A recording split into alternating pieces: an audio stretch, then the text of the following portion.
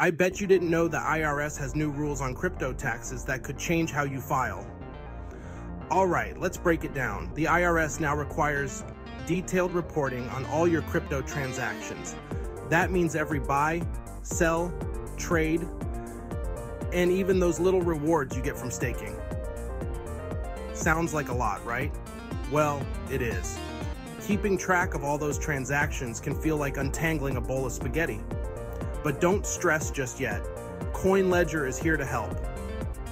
With CoinLedger, you can easily import all your transaction data from your wallets and exchanges. It then organizes everything for you, making tax time way less of a headache. Now, why is this important? Because if you don't report correctly, you could face penalties or even audits. And nobody wants that. So, whether you're a crypto pro or just getting started, understanding these new IRS rules is crucial.